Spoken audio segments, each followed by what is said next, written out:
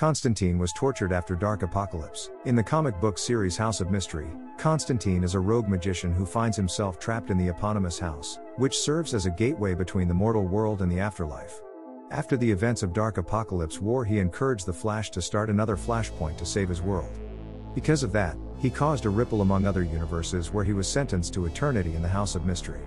Inside the house, he encounters a diverse group of characters, including ghosts, monsters, and other supernatural entities. As he struggles to find a way out, he must navigate the various traps and challenges set by the house's mysterious caretaker, Cain. Along the way, he also uncovers secrets about his own past and the true nature of the house. Ultimately, he manages to escape but not without facing consequences and learning valuable lessons from his time in the house. So that's how.